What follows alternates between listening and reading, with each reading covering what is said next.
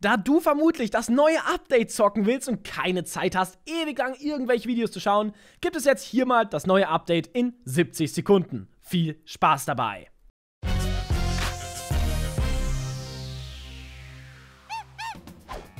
Gute und herzlich willkommen zu einem neuen Video hier vom Kanal, hier auf Judex. Schön, dass ihr eingeschaltet habt. Freunde, das hier ist das erste Video nach dem Caio Perico heißt DLC und ich bin absolut hyped.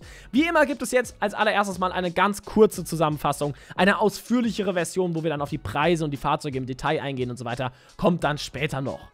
Bevor wir starten, aber hier nochmal ein ganz, ganz wichtiger Hinweis. Und zwar heute Abend um 19 Uhr streamen wir wieder das Finale vom Caio Perico Heiß DLC. Also stell dir den Wecker und sei um 19 Uhr heute Abend mit dabei. Ansonsten würde ich sagen, wir starten jetzt direkt mal in das Video rein, sonst wird es ja auch viel zu lang. Zunächst einmal gibt es heute sechs neue Fahrzeuge, welche auf den Webseiten gekauft werden können. Darunter ein Unterwasserfahrzeug mit Nitro, der neue Bomber und einiges mehr. Zwei weitere Fahrzeuge können durch den Kauf des U-Boots freigeschaltet werden. Ein kleineres U-Boot, der Kragen Avisa und der Sparrow. Und das bringt uns eben auch schon zum U-Boot, das ja der Schlüssel zu diesem Update ist. Hier können wir nämlich den Heist starten, welcher notwendig ist, um auf die neue Insel kommen zu können. Sie ist leider nicht im Free Mode verfügbar. Zu dem Heist an sich verrate ich euch an der Stelle erstmal nichts, weil ich euch nicht spoilern möchte und euch die Gelegenheit geben möchte, diesen selber zu zocken.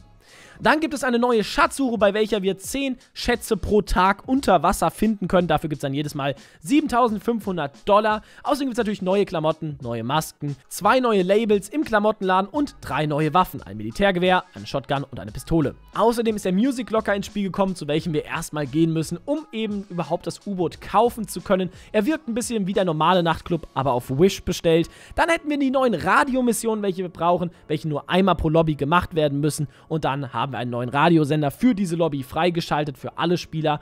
Und ja, das war im Prinzip auch schon das gesamte Update mal ganz kurz und knapp zusammengefasst. Schaut doch mal, da haben wir sogar unter 120 Sekunden gebraucht für.